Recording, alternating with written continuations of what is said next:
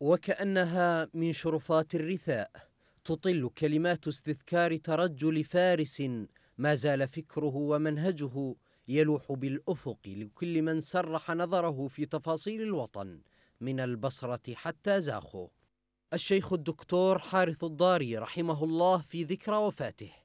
لا تدون سيرة ذاتية لفرد بل سيرة وطنية لرجل أبسط ما يقال فيه إنه عراق يحمله المنفى ومنفى يلجأ إليه كل عراقي فر من ظلم الجالسين على عروش الورق. المقدمة كالخاتمة بدأ الشيخ الراحل كتاب الحياة بحب العراق والغيرة عليه والدفاع عنه وختمها بذلك لم يحجب ضباب السياسة وسراب بائعي الأوهام رؤيته الوطنية ولم تنل من عزيمته الضغوط والتهديد ومشقة الطريق.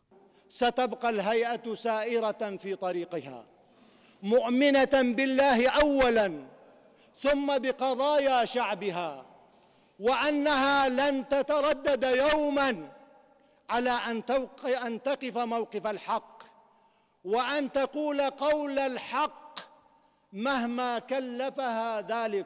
السياسة لدى الشيخ الراحل أبسط من أن تكون فلسفة أو فقه مصالح وملتقى مساومات. إنما هي وحدة العراق واستقلاليته وكرامة شعبه والحفاظ على مقدراته وثرواته. لا زلنا نقول الخيار الوطني الخطاب الوطني هو السبيل الوحيد هو سفينة النجاة بالنسبة للعراقيين للوطنيين العراقيين للعروبيين للمسلمين. تمر ذكرى وفاته الخامسة وفي العراق ثورة رأى الشعب من خلالها عين اليقين. أن رؤية الشيخ الراحل هي صواب الحق.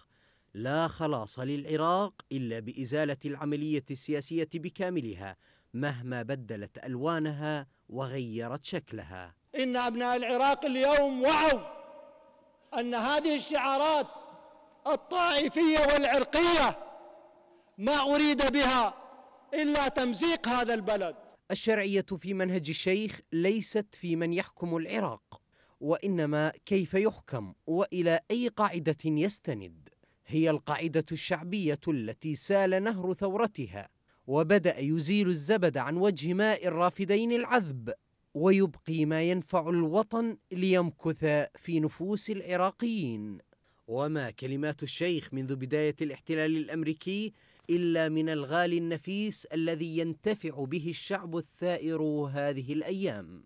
رحلت وعلى جبينك مسحة من دجلة والفرات لأنك كالعراق لكل نخل وما معنى النخيل بلا عراق؟